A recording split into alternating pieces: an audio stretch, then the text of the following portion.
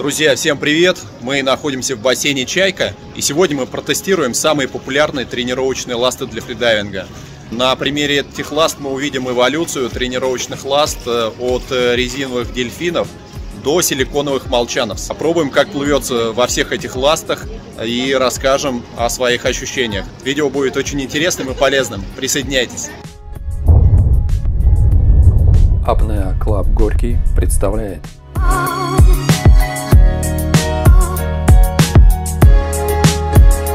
со старых добрых дельфинов.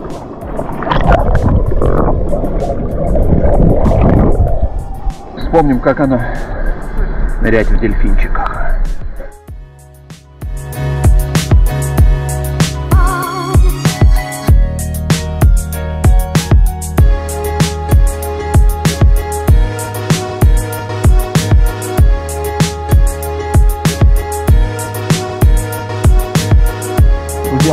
Чайки. Так прикольно. Под водой прозрак гораздо лучше, чем над водой, чем на поверхности.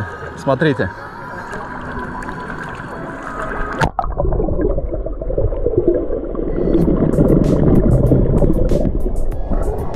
Опа!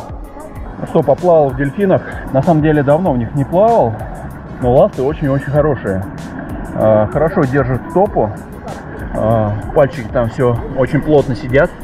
И такие они мягенькие, классные. Мне понравились, честно говоря. У них, пожалуй, недостаток один. Это то, что они ну, такие не очень стильные, что ли. Сейчас одеваем Power Pinsel. Очень красивого цвета.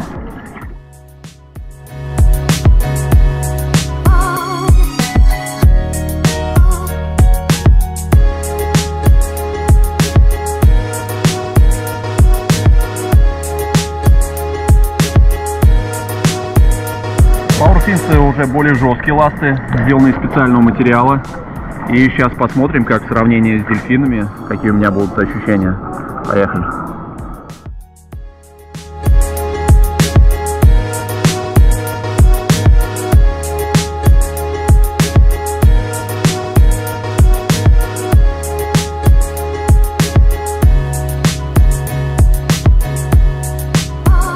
Ну, что сказать, э, ласты Power Fins э, гораздо более жесткие, чем дельфины.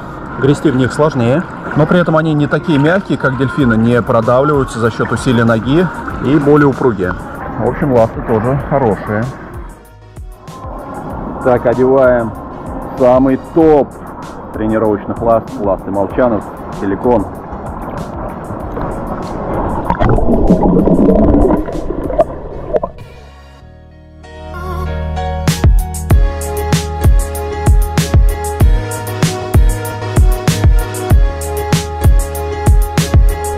Я как только одел э, ласты Молчанов, э, понял, что эти ласты, короче, каждая на свою ногу. То есть левую нельзя надеть на правую и наоборот. Э, и это очень прикольно, они очень комфортные, такие мягенькие, силиконовые, очень приятные на ощупь. И сейчас попробую, как в них плыть.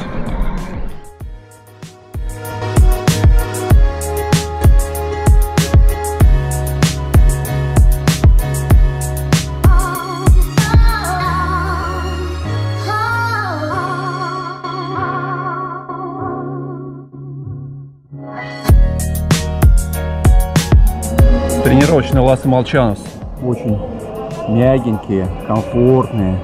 А, практически не ощущается, что ты плывешь в ластах, но ты плывешь в ластах при этом. И это такое прикольное ощущение. Не знаю, хорошо это или плохо, но ноги практически не забиваются. Может быть, только к концу бассейна. И таких больших усилий, как пару финсе, прилагать совсем не нужно. В общем, ощущения от тренировочных ласт Молчанос э, очень похожи, они по работе, на какие-то длинные, мягенькие, может быть, карбоновые ласты. А галоша очень похожа на кастомную галошу Молчанос. Ласты мягенькие, хорошенькие, комфортные. Если приоритет у вас именно, э, чтобы получать на тренировках такой комфорт, то я думаю, что эти ласты вам точно подойдут. Не знаю, с точки зрения э, накачки мышц, э, получится ли в них ну, так проработать, э, так нагрузить ноги, как пару финсах, например. Но то, что вы будете на тренировках получать удовольствие, это точно. В общем, друзья, по тренировочным ластам выводы такие. Если вы только начинаете и хотите попробовать фридайвинг, то можете остановиться на ластах дельфин или Fins, и это будет очень хорошим выбором. А если вы решили, что фридайвинг это, это то, чем вы будете заниматься долго, тогда есть смысл потратить чуть больше, купить ласты Молчановс. Они реально очень классные и красивые. Спасибо за внимание и всего доброго.